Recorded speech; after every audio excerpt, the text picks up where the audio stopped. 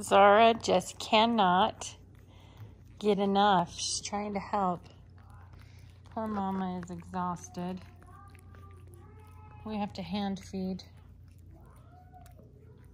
a few of these ones. Well, let's just be real. I hand feed every one of them to make sure they're all getting enough, at least for right now, until they get a little bigger. Zara's milk will be coming in soon. Hi, Zara. You beautiful lady. And she'll feed a couple when that happens. They've already tried to nurse off her. She just doesn't have milk.